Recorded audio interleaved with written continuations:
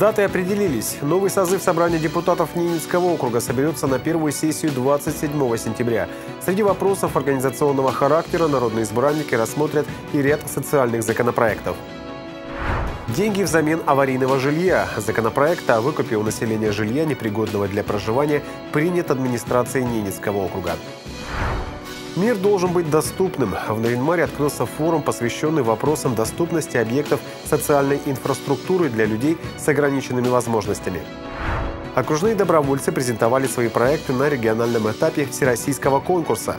Победители смогут получить гранты на дальнейшее развитие своих проектов.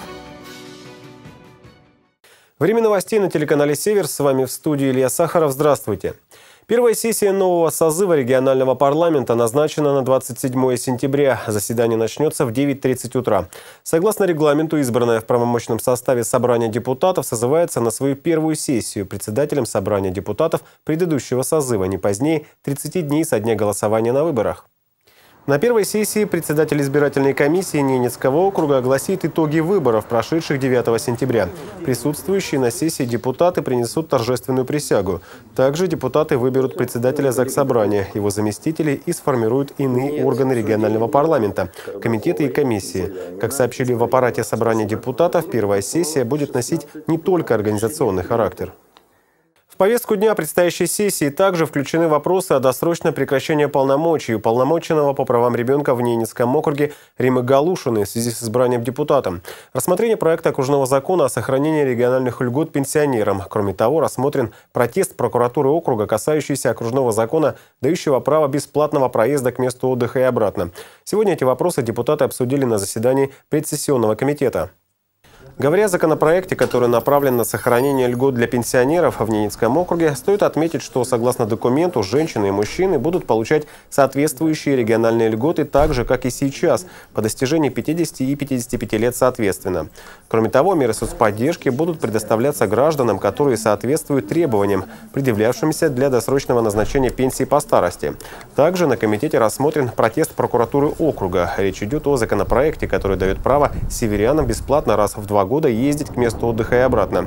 Как отмечает прокуратура, согласно положениям Трудового кодекса, право на бесплатный проезд предоставляется только в пределах территории Российской Федерации. Следовательно, региональный закон необходимо привести в соответствие с федеральным. Администрация Ненецкого округа принят законопроект о выкупе у населения аварийного жилья. Концепция документа подразумевает, что денежные выплаты могут быть направлены на приобретение в собственность готового жилья, либо на приобретение жилья путем долевого участия в строительстве многоквартирного дома. Право на получение денежных выплат планируется распространить на собственников жилых помещений в аварийных домах, включенных в окружные реестры жилищного фонда, признанного непригодным для проживания. Организовать разработку альтернативного механизма для ускоренного решения жилищной проблемы глава округа Александр Цибульский поручил профильным ведомствам. Однако, когда документы вынесли на рассмотрение региональной администрации в первый раз, то было предложено его доработать с учетом социальной значимости и необходимости точно просчитать размер выкупной стоимости квадратного метра. Все ранее высказанные замечания и предложения к законопроекту учтены в его обновленном варианте. Так, проект закона дополнен в части наделения органов местного самоуправления отдельными государственными полномочиями в процессе его реализации. Кроме того, документом уточнены положения, касающиеся стоимости квадратного метра, по которой будут выкупаться жилые помещения. Стоимость будет утверждаться с учетом ее ежеквартальных изменений. Документ будет внесен на рассмотрение собрания депутатов Предполагается, что он вступит в силу с 1 января 2019 года. Александр Цибульский поручил разработать комплекс мер по стимулированию рынка труда в Ненецком округе. Соответствующее поручение было озвучено главой региона в ходе заседания администрации при рассмотрении вопроса об увеличении патента для иностранных работников с 7859 рублей до 9000. По мнению разработчиков законопроекта Департамента здравоохранения, труда и соцзащиты НАО, данная мера способна повысить конкурентоспособность местных жителей на рынке труда. Александр Цибульский посчитал такой подход формальным и поручил руководство департамента Сергею Свиридову разработать комплекс мер по развитию рынка труда в регионе. Я не, значит, не сомневаюсь в том, что нам точно надо заниматься тем, чтобы э, значит, защищать наших местных работников и, соответственно, стимулировать рынок, местный рынок труда, но я считаю, что это решение – это формализм. у нас и так одна из самых высоких стоимостей патента в стране. И мы сейчас можем, конечно, принять решение и считать, что мы таким образом решили, и сейчас мы, значит, все наших работников трудоустроили. Но это не так. Поэтому, Сергей Анатольевич, я предлагаю, если никто не возражает, этот вопрос снять, а вам поручить, соответственно, к этому вопросу подойти комплексно и разработать нам комплексную программу по стимулированию рынка труда и по защите значит, местных э, жителей, значит, их интересов при устройстве на работе. В Ненецком округе запустили профориентационный проект для молодежи «Я делаю бизнес». Он направлен на популяризацию предпринимательства в молодежной среде и предполагает посещение школьниками и студентами предприятий малого и среднего бизнеса, где у подрастающего поколения есть возможность изнутри увидеть все производственные и бизнес-процессы. Всего к проекту в этом году планируют подключиться 15 регионов России. На сегодняшний день он стартовал в Саратовской и Ульяновской областях, а также в Ненецком округе. В НАУ до конца года необходимо организовать 7 таких туров. Региональный центр развития бизнеса совместно с Департаментом образования, культуры и спорта подготовит программу мероприятий на текущий год, сформирует группы школьников и студентов, а также определит предприятия, которые они посетят. Идея проекта «Я делаю бизнес» была озвучена участниками апгрейд-лаборатории, которая проходила в Минэкономразвития весной этого года. Необходимость реализации программы предпринимательской профориентации молодежи зафиксирована в проекте паспорта нацпроекта «Малый и средний бизнес» и поддержка индивидуальной предпринимательской инициативы, который сейчас готовит Минэкономразвития. Привлечение органов государственной власти к организации доступности социальных объектов. Такова главная цель двухдневного семинара, организатором которого выступила Ненецкая окружная организация Всероссийского общества инвалидов. В мероприятии приняли участие руководители учреждений, представители власти и уполномоченные по правам человека в Ненецком округе. Мир должен быть доступным. Такое название форуму дали не случайно. Ведь по статистике в стране каждый десятый является инвалидом, а в Архангельской области каждый восьмой. Но не всегда люди могут их видеть, в силу того, что у инвалидов просто нет возможности выйти на улицу. На сегодняшний день не организован и досуг инвалидов. Здесь, к сожалению, э, мы очень сильно на сегодняшний день проседаем, потому что ну, нужно признать, что ни одного объекта развлекательной инфраструктуры, либо инфраструктуры оказания услуг, будь то парикмахерские, кафе или кинотеатры, к сожалению, у нас таких объектов нет. Государственная программа «Доступная среда» стала работать на территории региона только в 2015 году, после передачи соответствующих полномочий из Архангельской области. На ее реализацию выделено более 83 миллионов рублей. Большая часть средств – федеральные. За три года удалось добиться многого, в том числе обустроить специальными пандусами и кнопками вызова учреждения и организации города, а также приобрести амбулифт для окружного авиапредприятия.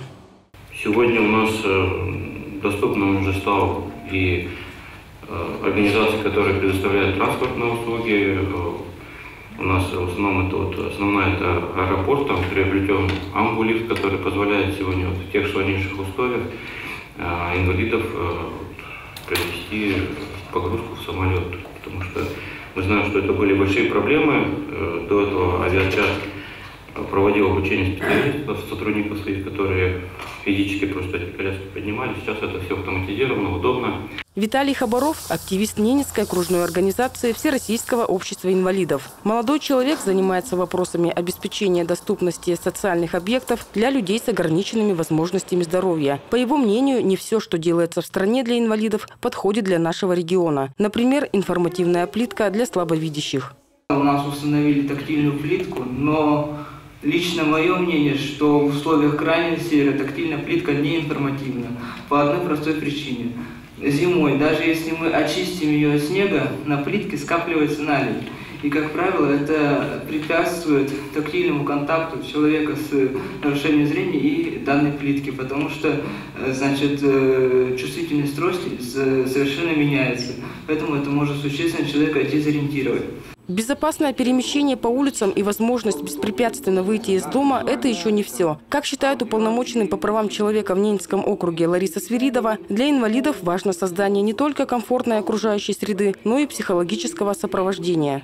И сколько бы мы законов с вами не написали, если психологическая помощь и адаптация человеку не оказана, надо все-таки начинать с этого. И сейчас здесь сидят организации и представители вот активного большинства общественных организаций, которые именно должны Э, вместе со мной в партнерстве начинать изменять психологию. То есть, если раньше мы понимали в послевоенные годы, что вполне может быть, какая-то уже норма, да, что человек утратил конечность, или он оглох в результате какого-то ранения, да, или вообще это было какой-то нормой, то сейчас мы понимаем о том, что при современном мире изменилось все. Изменились технологии, изменилось восприятие. И в то же время нужно менять психологическую составляющую. В целом участники семинара сошлись во мнении, что в последнее время отношение к людям с ограниченными возможностями изменилось в лучшую сторону.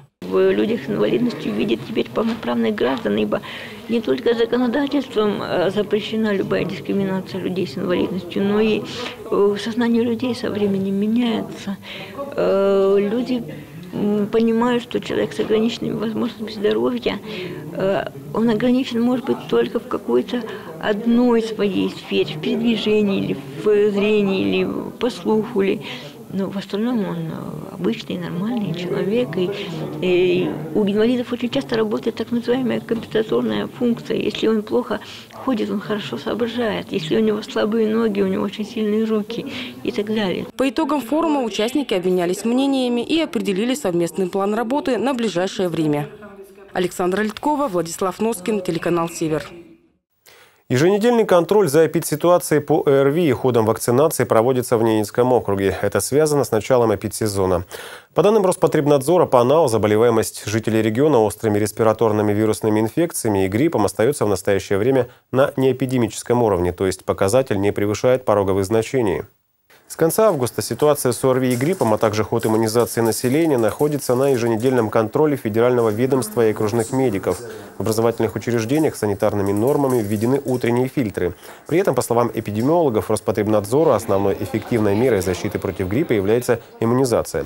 В настоящее время продолжается проведение сезонной вакцинации населения против гриппа. Уже привито более 5000 человек. В рамках прививочной кампании 2018 года во избежание эпидемии гриппа необходимо привить почти 20 20 тысяч жителей региона.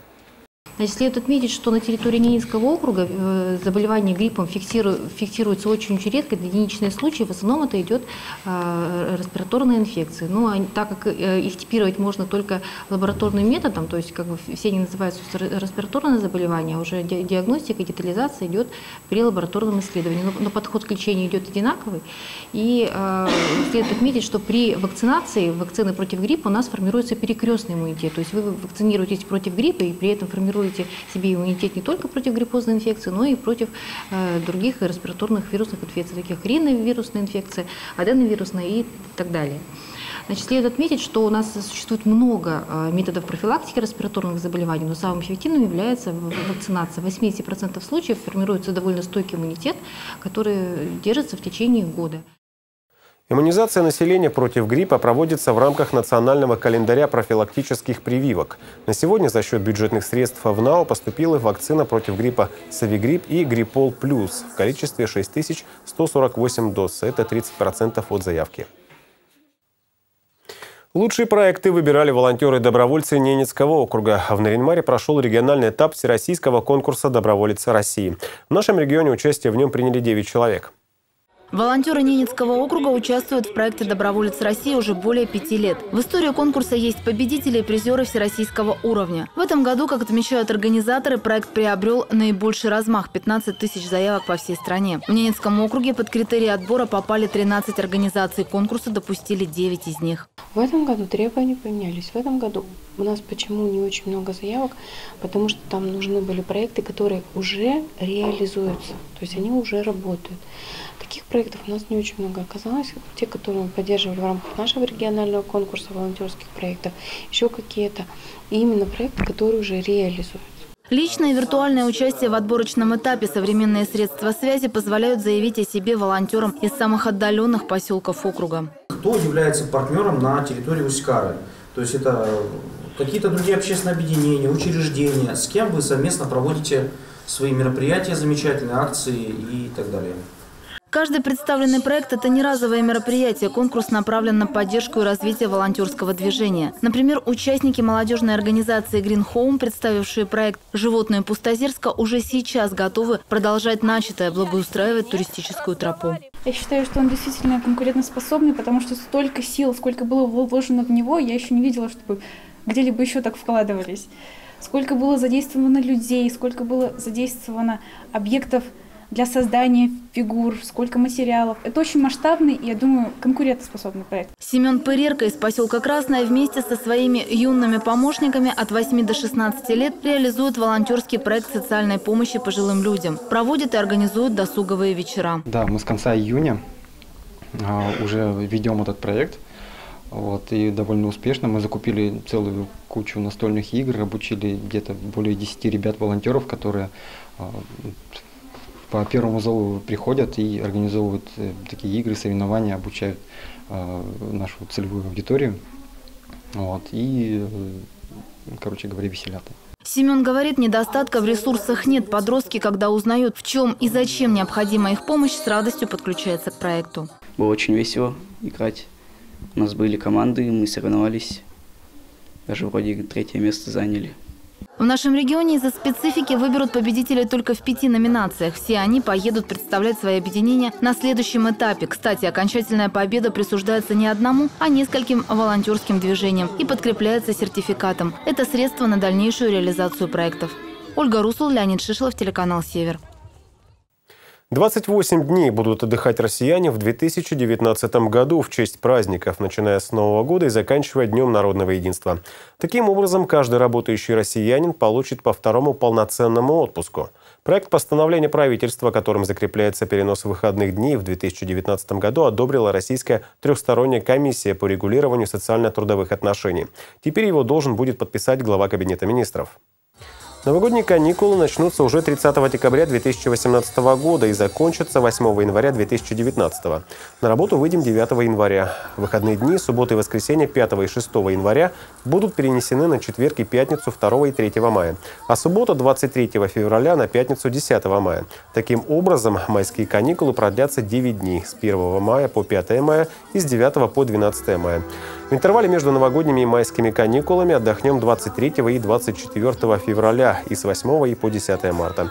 В июне у нас будет только один день, это 12 число среда, в ноябре три дня, со 2 по 4 число. Такова была информационная картина к этому часу. Смотрите наши выпуски и оставайтесь в курсе событий. До встречи в эфире.